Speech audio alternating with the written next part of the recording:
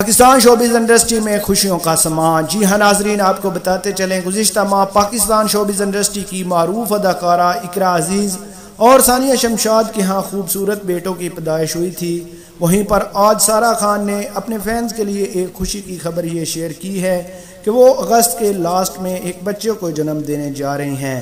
جی ہاں ناظرین، آپ کو بتاتے چلیں کہ اداکارہ سارا خان کی شادی پندرہ جولائی سن دو ہزار بیس کو معروف سنگر فلک شبیر کے ساتھ طے پائی تھی۔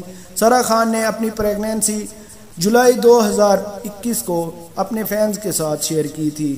یہاں ناظرین، آپ کو بتاتے چلیں کہ آج سارا خان نے یہ کہا ہے کہ وہ اگست کے لاسٹ میں اپنے فینز کو ایک خوشی کی خبر دینے جا رہی ہیں۔